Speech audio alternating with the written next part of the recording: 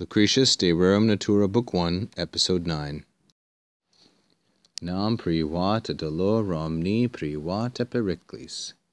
Ipsa suis pollens opibus nihil indiga nostri. Nec bene pro meritis capitur nec tangitur ira. Huma non taculos foide cum vita ret. Inter riso pressa gravis sub religione quae caputa cae li regionibus ostendebat, horribili super aspectu mortalibus instans, primum graius homo mortalis tolera contra, est aculos sus primus quapsistera contra. This selection is somewhat long for one episode, but as you will notice, there's no good stopping point. So we'll just handle as much of it as we can and leave the rest for the next episode.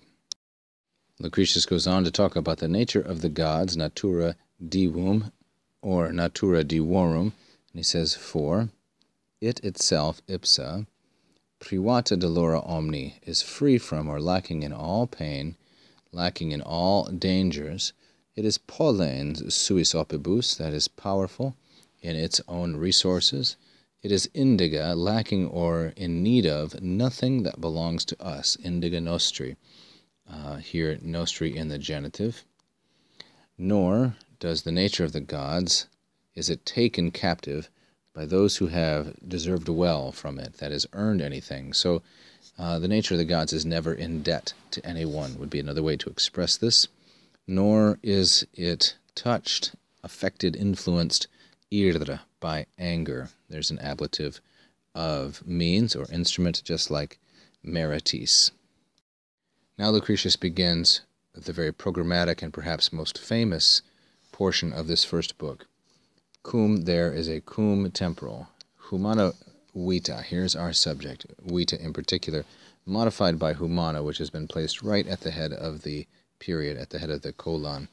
So when human life, le yakere, here is a second conjugation verb, iacere, which means to be in a position to be defeated, to uh, lay in a state of disrepair, for example.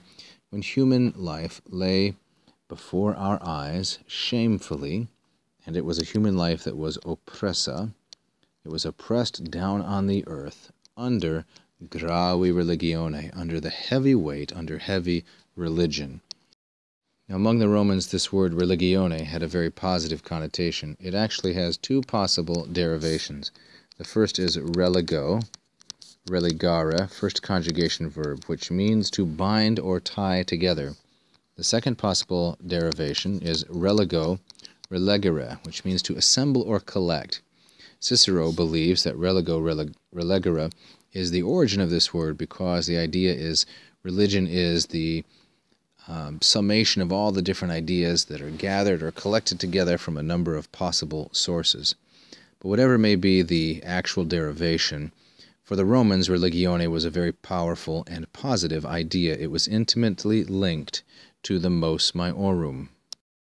The mos maiorum was the tradition of their ancestors, and it was a very respected and fundamental aspect of Roman existence. Thus, for Lucretius to describe human life as being oppressa under heavy religion is a very serious statement to make, and it shows his Epicureanism. He's going to speak soon about Graius Homo, Epicurus himself.